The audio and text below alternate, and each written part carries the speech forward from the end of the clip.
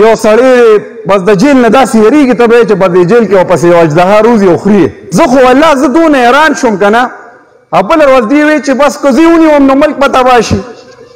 که زه یې ونیوم نو دا به وشي او چا ته نقصان ورسو د عوامو ته نقصان ورسو څه فایده راته وشوه زه خو چې وګورم نو که باچا خان بابا ته وګورې نو زما په خیال چې د دېرشو کالو نه زیات هغه قید خوړلی دی یو ورځ چې تا هغه دا ویلو چې لکه روزه که زه جیل ته نه یو شپې له بوتلم نو ګوره بیا به تبۍ وشي خو لا بړه پکې به جیل کې پروت د خلکو دپاره پروت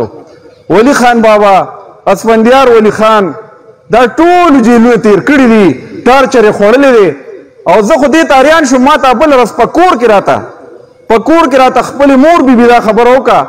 زما د مردان نیکه چې د عوامي نېشنل پارټۍ او ایم این ایم او سېنېټر مو هغې راته دا خبره وکړه چې وي مونږ واړو او وي مارشل لا وه او وي دې وي نیکم ایم این ای او وي پولیس به رالل زمونږ کور نه به چار چاپېره شو وی نیکه به ورسره ښه ښکلې میله وشو ورته به یې وی چې صرف دوه منټه راکې په بکسه کې به خپل سامان جامې او کم د ضرورت څیزونه دا به ځان سره کېښودل او ته یې چې ځای چې ځو وی چې یو ځل لاړه نو دوه کاله تقریبا تېر کړل بل ځل چې لاړه نو زما په خیال سه یو نیم کال تېر کو نو دا سیاسي سړي لپاره خو جیل چې کم دی نو دا څه دغه نه دی خو دې سړي ته زاریان یم چې دې د چرمخکې نه پکې دننه یریږي که د څه شي نه پکې یریږي دې بیخي نه ځي دې جیل ته نو داسې نر سړی خو نه دی داسې غیرتي سړی خو نه دی او د څه کړي دي او د دې قوم ته بغیر د انتشار نه روړې اخر څه دي نه د ترکې په عمل پیږي خدای شته مونږ به همیشه وی چې را زه چې کله وزارت ته رالم نو ما وی زموږ د چار صدې لپاره څو کړې شم خلته خو دغه ظالم حکومت نو میډیکل کالج هم څو په شرمولو پرزولو باندې پاغه بجټ کتاب کې دوه کاله پس شامل کو هغه کې چې بیا قتل نه او سات پس چې مو قتل ناغه ته زما په خیال چې سل روپے وې کبر لس روپے هغه ورته خې او په دې باندې موږ میډیکل کالج جوړو یعنی دا پارټي چې دا او د دې را مشر دا صرف انتشار دی په دې د د چسون حکومت تیر شو دی کې ترقی را نه لا په دې کې خلق د یو بل دشمنان شو په کورونو کې خلق د یو بل دشمنان شو په کلو کې خلق د یو بل دشمنان شو کنزل وینا او دا کم قسمه دغه چې شروع دی خو شکر الحمدلله زه دا وایم چې ډیر زیات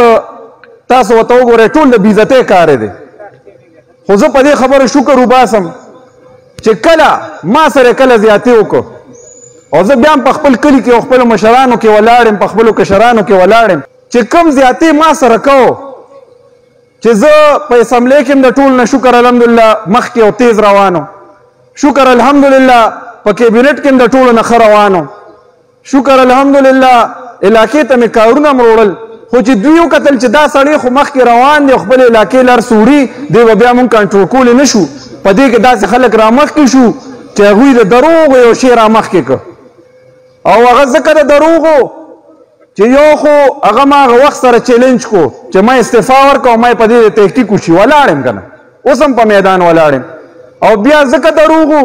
چې دوی هغه دنه خبرې ورته زه څه کوم دوی زما په حجره کې تاسو ته پته ده زمونږ ستاسو یو کلی دی زما په حجره کې د هغه وخت وزیر اعلی راغی جرګه وکړه د هغه وخت څه چې د هغوی مخکې وزیر اعلی او صوبۍ صدر پرویز خټک هغه راغی هغه په جرګه راغو اسد قیصر د دوی سپیکر هغه راغی جرګه وکړله خو ما شکر الحمدلله ما وی چې الله تعالی خې دې خلکو ته راشه را جرګې خو مکړي خو ما ل خپل د کلی د خپل علاقې د خپل پارټي جرګه راغلی دا او دا خو دی ما ته وی چې وزیر اعلی او سپیکر او پلاني او ډیفنس منسٹر او دا ټول لرال ما ته مړ او عمران خان هم لراولو مې چې صدر بوش واپس راولې هم تاسو سره په لار باندې نه ځم مړه نو خدای ته په حیا کې اوس دا څه ملګري دا د هغوی د ناستې دا منظور دي هلکه په حیا کې پاتې شوې که پاتې نه شوې صحیح فیصله مې کړې وه که نه دا کلیوال چې څونه ناست دي چې مونږ ټول یو ځای صحیح فیصله مې چې کړې وه که نه نن ښه په حیا پرده کې او ښه په عزت کې ناست یې که نه هغه وخت خلکو وي وی وزیر اعلی دی او وزیر اعلی څوک پری دی او وزیر اعلی په جرګه او کړه دا جرګه بلا څنګه نامنظور کړي او حکومت وی لا څوک پری دی خو مارته تاسو جوړ د دین نه خبر چې زمان نیکو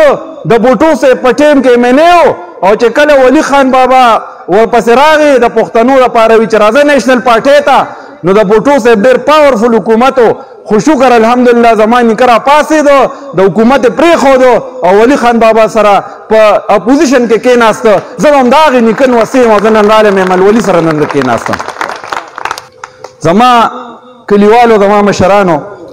ډېره زیاته شکریا ستاسو ادا کوم او یو خوشخبری له در کوم بس بیا خو بانګونه وای چې ګرمي هر کله راشي نو زمونږ د رزړو میرآباد زمونږ د بجلی ډېره غټه مسله ټریپینګ او مطلب دا دی چې وولټیج کم او یو څه بل څه زه درله دا خوشخبري در کوم چې ایمل خان ورپسې ډېرې منډې ووالې مونږ پکې خپلې منډې تړلې وه سره د کشرۍ په ځای باندې ووالې او فیډر د رزړو لپاره د یونین کونسل لپاره بل فیډر چې کم دی په هغې مونږ کار مکمل کو او انشاءالله انشاءالله تعالی را روان دوه درې ورځو کې به تاسو له بیا تکلیف درکو او ان شاء الله په شریکه بزو د فیډر به افتتاح کو چې دا کومه ګرمي مخکې را روانه ده نو خپل کلیوالو تم دا یو بل تحفه وروړه چې د ډریپینګ نه او د لو ولټیج نه به پکې خلاص شو ان شاء الله مونږ کارونه کو مونږ ترقیاتي کارونه کو مونږ د کلی کې د امن غواړو مونږ په کلی کې خوشحالي غواړو مونږ په د کلی د خلکو عزت غواړو مونږ په کلی کې روزګار غواړو مونږ د دې خبرې کوو او دا نور انتشار یا یو سړی راځي او هغه دا خبرې کوي چې یاره زه خو ډیر شریف سړی ما خو چاته نه څه کړي دي او نه مې سغلا کړي او نه مې کرپشن کړي دي نو دا خوله دې راباندې نه کولاوي د هر چا ریکارډ مخامخ پروت دی او زه راته وایم چې دا دلته لوکل کم ګرځي نو زما نیکه زما کر نیکه خو ملنګانو خو الله تعالی ولا چې څه ورکو هغه ولا ورکړو نو زه ته وایم چې دا کم دلته په دې کلی کې راځي او ګرځي زما د خپل نه کولاوي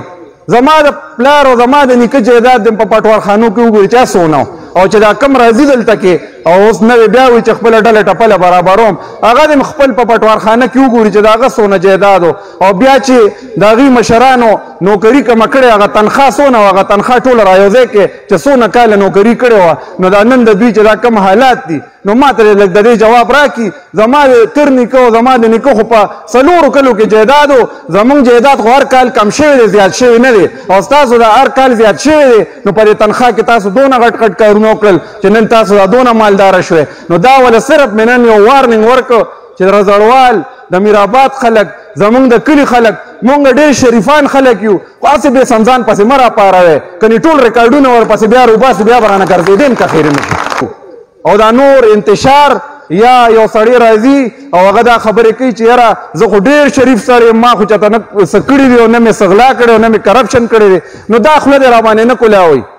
د هر چا ریکارډ مخامخ پروت دی او زه راته وایم چې دا دلته لوکل کم ګرځي نو زما نیکه زما کر نیکه خو ملنګانو